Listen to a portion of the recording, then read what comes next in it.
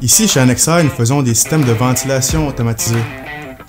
En tant qu'électromécanicien, notre travail consiste à faire l'installation des composantes électriques, passer du filage et après ça effectuer le branchement. Ce que j'aime chez Annexair, c'est que l'esprit d'équipe est vraiment bonne. On a des composantes à fine pointe de la technologie. C'est tout le temps du nouveau stock qui arrive, puis euh, c'est vraiment stimulant. J'adore l'horaire des 4 jours. En plus, il donne un bonus de 2000$ après un an.